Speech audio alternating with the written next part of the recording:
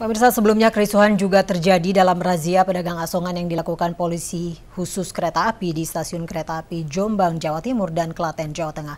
Penertiban pedagang asongan ini dilakukan berdasarkan Undang-Undang Perkereta Apian dan berlaku secara nasional.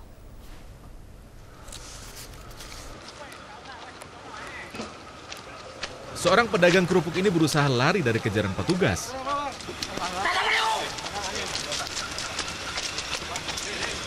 Meski nyaris tertangkap, pedagang ini akhirnya berhasil lolos masuk ke kereta api. Razia tidak hanya di stasiun, tetapi juga di dalam kereta api.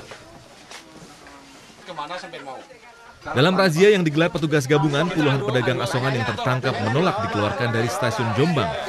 Meski dilarang berjualan, para pedagang mengancam akan terus berjualan demi menghidupi anak istrinya.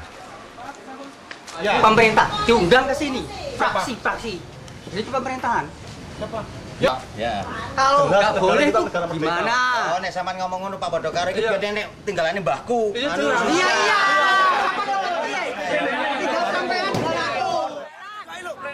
Sebelumnya, siang tadi kericuhan juga terjadi karena petugas polisi khusus kereta api Polsuska menertibkan pedagang asongan di gerbong kereta api di stasiun Klaten, Jawa Tengah.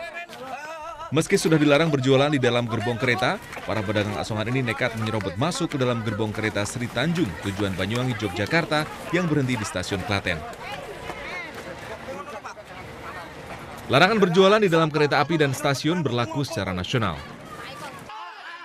Merujuk pada Undang-Undang Perkereta Apian Pasal 35 Ayat 2, Undang-Undang Lalu Lintas Angkutan dan Kereta Api yang diperkuat dengan Peraturan Menhub Nomor 9 Tahun 2011 tentang standar pelayanan minimum angkutan orang dengan kereta api. Namun para pedagang memprotes pemberlakuan razia selama ini karena pemerintah maupun PT KAI tidak mau memberikan solusi atau pekerjaan lain kepada mereka. Sedangkan PT KAI tetap bersikeras pada peraturan yang berlaku. Tim kontributor RCTI melaporkan.